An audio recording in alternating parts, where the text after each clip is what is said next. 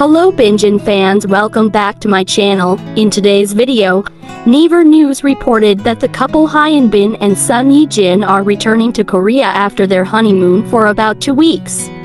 According to a report of a certain magazine on April 27, Hyun Bin and Son Ye Jin are scheduled to enter the country through Incheon International Airport on the 28th.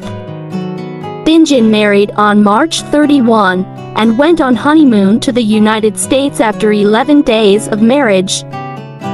The couple arrived at Los Angeles International Airport on the 12th and were welcomed by many local fans that they never expected as they traveled without security. While waiting for the car at the airport, Son Ye-jin signed autographs for her fans and even took photos with them and Hyun Bin made headlines among her flocking fans by showing his respectful attitude protecting his wife. Their honeymoon stay also drew attention, as everywhere they go it was broadcast in different social media sites. The couple's every move becomes a hot topic, some concerned fans felt disappointed for the couple, who could not have enjoyed their once-in-a-lifetime honeymoon in peace. And this news that Hyun Bin and Son Ye Jin will be returning to Korea has not yet confirmed by their agencies.